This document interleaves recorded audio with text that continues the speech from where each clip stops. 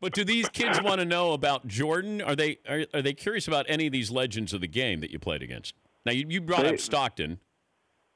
Yeah, they are. They, you know, it's uh, these uh, the the young uh, men. They are interested in some of the uh, star players. Uh, when we talk about Stockton or Jordan, um, you know, we talk about uh, the the old rules of um, you know not the new rules, but the old rules of like when you had to go meet Jordan at the rim uh, because you couldn't play zone.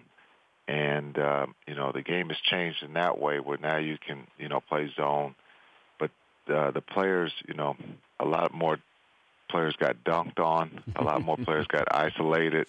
You were on an island. You know, you didn't have help, and uh, you had to figure out how to how to stop those great players. You got a Jordan. Which, You got, oh, yeah, what, you got a Jordan story? you came up short. You got- yeah. you, you got a Jordan, Jordan. story? Uh, Jordan story. Uh, my probably my rookie year. Uh, I actually told this story to uh, Khris Middleton. My rookie year, I'm guarding him, and I, I can just, you know, my heart's about to come out of my chest, and I'm just pray that, that he just shoots a fadeaway jump shot. But he decided to go baseline, and when he went to jump, all I could think about this cannot be a highlight, and uh, he just did like a little reverse layup. And as he came down and started running back, he just looked back and winked at me, and uh, I, I thought, "Oh man, this could this could be a long night."